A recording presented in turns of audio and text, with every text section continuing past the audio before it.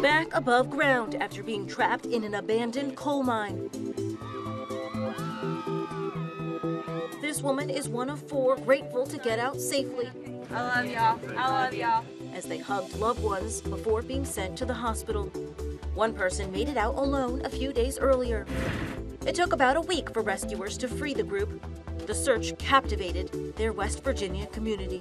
All of them came by me and hit me on the shoulder and said, We're going to get them. We're going to find them. And they did. Family members say they had gone into the West Virginia coal mine in search of copper wire, which they planned to then sell. They got Yes. a few medical conditions, but they're okay. No charges have been filed, but police say there will be an investigation.